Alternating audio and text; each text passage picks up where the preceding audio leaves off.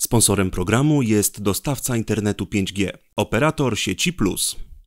Cześć! Od teoretycznych rozważań naukowych nad holografią minęło ponad 100 lat, a nadal z hologramami kojarzą nam się głównie naklejki na płytach lub e, pośmiertny koncert Tupaka. W ostatnich latach temat holografii jednak przyspieszył. Gdzie jest teraz? Zapraszam do materiału. W 1920 roku polski naukowiec Mieczysław Wolfke sformułował pierwsze teoretyczne podstawy holografii w dziele o możliwości obrazowania optycznego siatek molekularnych.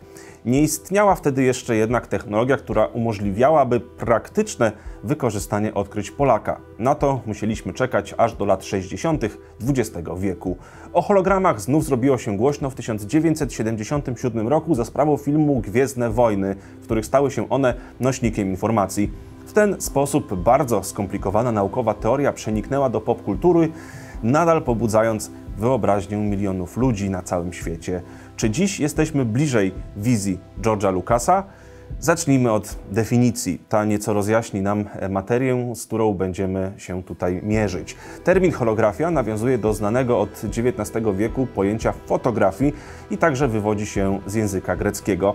O ile jednak fotografia pochodzi od słów fotos i grafę, oznaczających światło i rysowanie, tak holos w Grece oznacza całość. Holografia jest więc rysowaniem całości.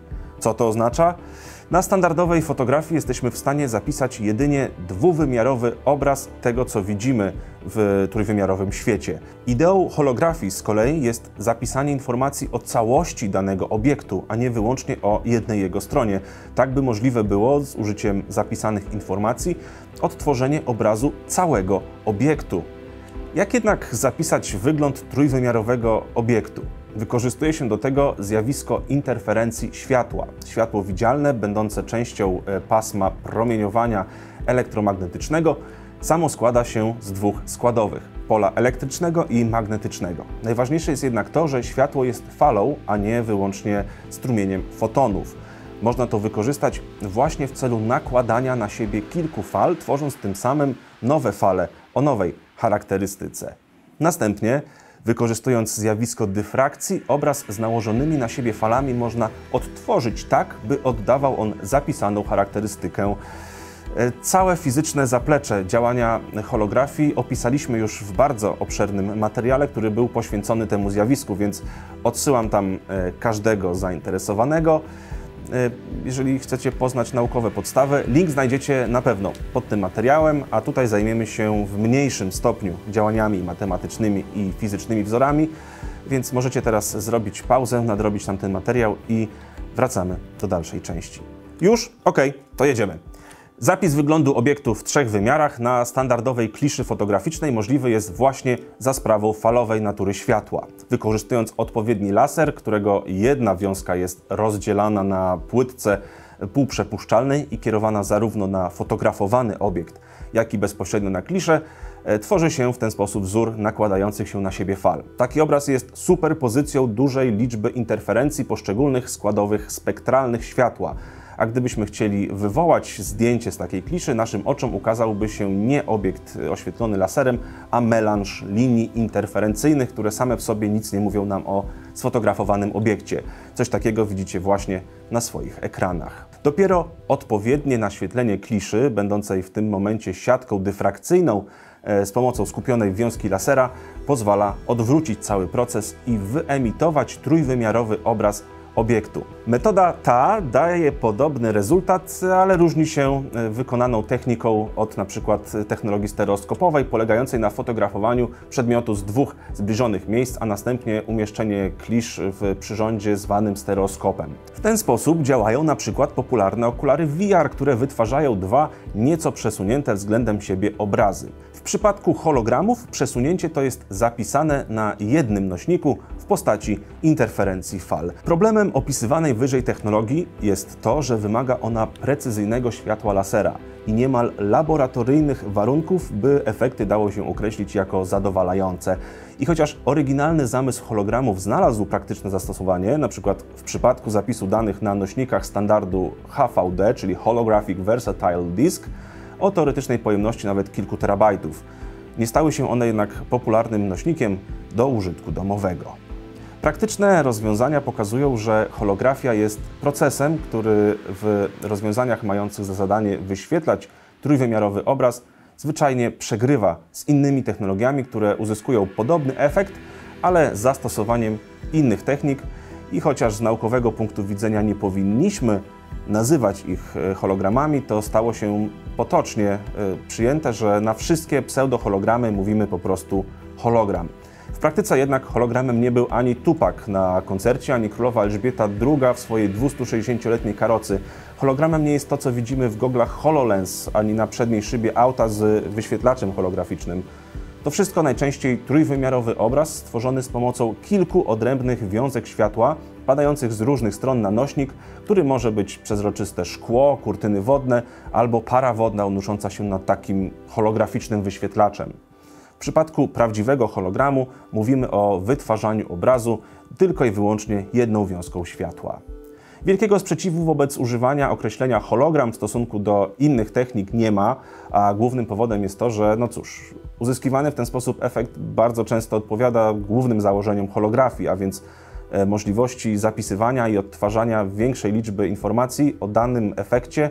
W tym przypadku chodzi o widok obiektu z różnych kątów. Gdy podczas obchodów 70-lecia władzy królowej Elżbiety II jej wizerunek z dnia koronacji machał do przechodniów w Londynie, obserwatorzy nie patrzyli na jeden dwuwymiarowy obraz wyświetlony na oknach powozu. W praktyce było to kilka synchronizowanych obrazów, które widoczne były w zależności od kąta patrzenia.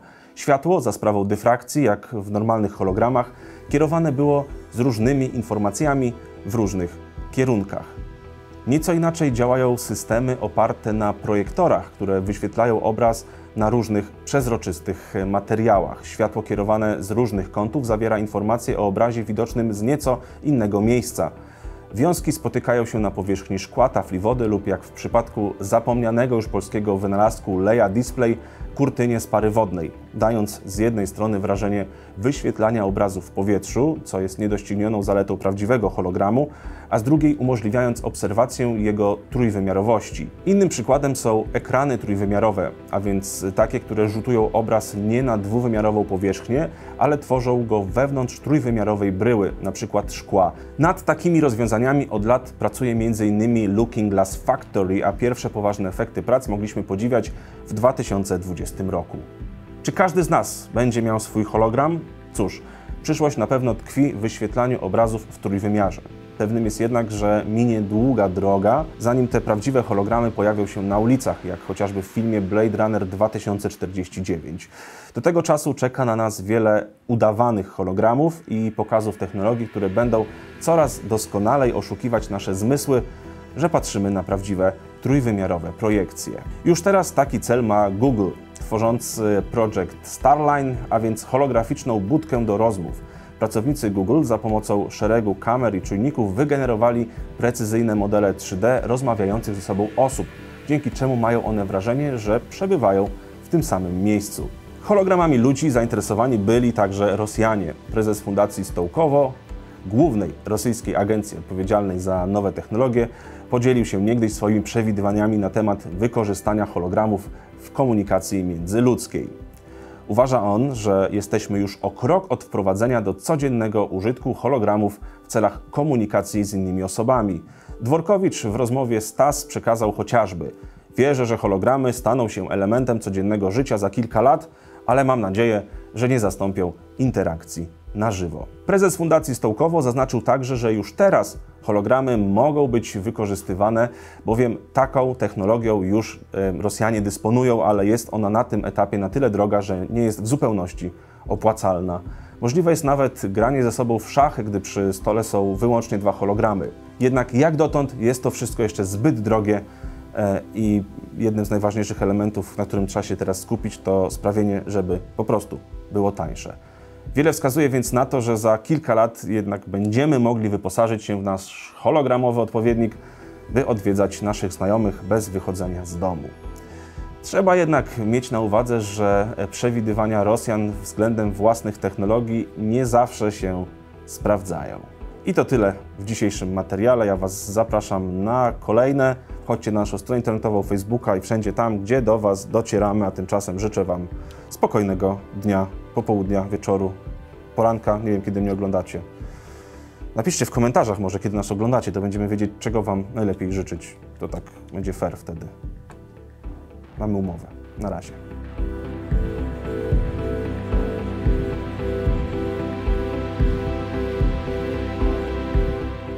Sponsorem programu był dostawca internetu 5G, operator sieci Plus.